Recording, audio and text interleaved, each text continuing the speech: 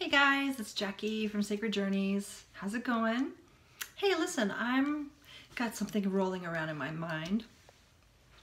Have you ever been uh, accused of being too nice? Do people say, "Oh gosh, you're so nice," or "She's so nice," or that being nice? Have you ever noticed the energy of that? So go ahead and breathe into the energy of being nice. If you've ever been nice all the time? I have a question. Are you authentically being nice? Or is it a way for you to feel accepted, to fit in, to, to not be a threat to someone? Because being nice is actually a coping skill, a coping mechanism for people who are raised up in violent, kind of, uh, not even outright violent, but like unsafe, emotionally unsafe situations where that is a coping skill that you develop to be safe in your environment. You can be nice, you can be helpful, you can always be the one to care for other people or accommodating, things like that. That is the personality or a, a, a facade, if you will, of being nice. And it's a way of really covering up your true authentic self so you won't be yelled at, abused, um, shunned, anything like that. If you don't feel like you're fitting in any other way, you can always be the nice girl, nice boy, uh, be the good boy, be the good girl, and it's it's a it's a way of fitting into your environment so you're safe. But it may not actually be truly who you are. So I'm just curious if this is something that resonates with you is there a part of you that is really hiding behind being nice? And you can tell, like, if you're being nice, eh, but it's not really you, then you're going to feel resentful. Or you're going to feel like uh, you're tolerating something or you're putting up with something at the expense of your own heart. Or you're doing things that you wouldn't really want to do, but you want to be nice so you do them anyway. Or to be nice is to be helpful, even when you have red flags inside saying, there's something off in this situation and I need to be cautious. But this other personality or this training of, oh, but you have to be nice, it would be rude not to answer their question or it would be rude to not help them. Well, then that that's a red flag because there is something going on inside of you that's causing you to be nice at the at the cost of yourself. You're not being nice to yourself by being nice to someone when you know they're either being disrespectful, abusing, or could possibly be a threat, right? So this is something really to be mindful of. And if this doesn't make any sense to you, then this is not for you. But if this is for you, if you're really understanding what I'm saying, then I'm inviting you to take a look at that.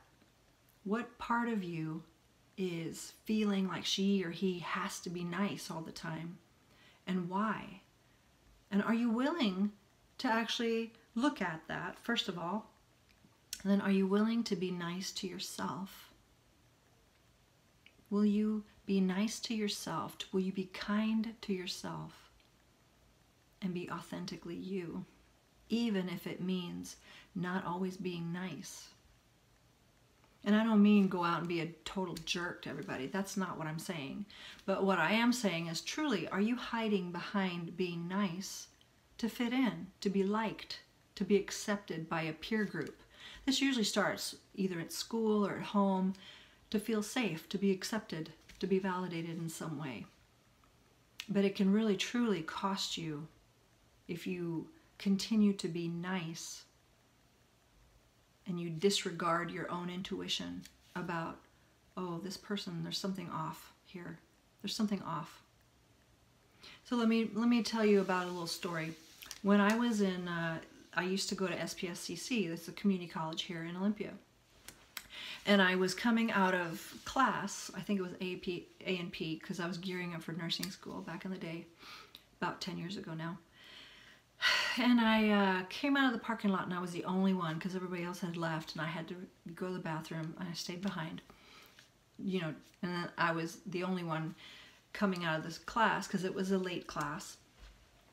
And I noticed that my truck was the my truck and one other vehicle was in the parking lot and that was it. Everybody else had already gone. And I noticed the car, but I go to my truck and I'm I'm tired because at that time I worked night shift at the hospital because I was going towards nursing school, so I worked as a CNA. Uh, anyway, so I sat in my truck and I was like, okay, I'm tired. I'm just kind of like tired from class and gearing up and thinking about what I had to do. And then I just feel somebody looking at me. I feel it. And I turn around and I see this girl staring at me and the back of my hair, the back of my neck hair stood up.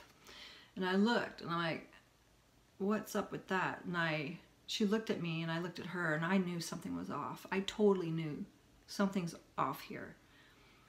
And then she motions to her friend, another female. And then they come and I'm like, can I help you? Like, you know, do I, do you need anything? Like, I'm getting ready to go. But again, I should have just pulled off. I should have just left, like, hey, whatever. But I felt that I had to be nice and ask, can I help you? What's going on? And then, of course, the other girl comes over and asks me for directions to a pizza place just down the road. And I'm like, uh, it's just down the road on Capitol, just down. And then she's like, oh, can you write that down for me? And uh, again, red flag, ding, ding, like, what? It's just down the road. Follow, that's one road. But of course, again, I had to be nice. And I I'm like, okay. And I reach down and I grab a notebook to write it down for her and then I look up and the other girl, the first one with the the first one, she had a gun in my face. And I'm like, "Are you fucking kidding me?" Sorry about the word, but I'm like, "Are you serious?" I was so pissed. I was tired. I was depleted. And I'm like, "Are you serious? Like really?" Mind you, this is a community college. Uh, you know, like we're not parked in front of the Nordstroms or anything. It, it's like you're gonna rob me at SPSCC? Like what? But this girl had a, they tried to, long story short, they tried to rob me. They shot me with a, not a real weapon, it was, it was a pellet gun filled with mustard, mustard gas kind of stuff, you know, but I was like so pissed. I was so enraged that, and they ran to their car. I started my car and I chased them around the parking lot and I was going to ram right into their car and then this little voice said, if you kill them, it's to be on you. And I swerve and I, by then they'd gotten in their car and then I chased them through a couple of neighborhoods and then they got away and I just, and I had pepper spray running down my face and I couldn't barely see then. I had to get home before I couldn't see at all. But I was just so infuriated that they would try to rob me at a, you know, two women trying to rob a woman. That's just a, crime against humanity in itself, you know. And then I was just furious and I got home and called my daughter like, hey, I need help, I need help. And, you know, everything, everything turned out fine, I'm fine. Those girls never got caught.